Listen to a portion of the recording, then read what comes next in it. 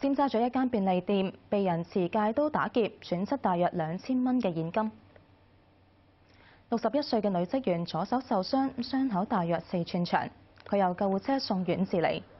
現場係柯士甸道一間便利店，凌晨三點幾，兩個南亞裔男子，其中一人持戒刀指嚇女職員，搶走收銀機入面大約兩千蚊，割傷女職員嘅手之後逃去。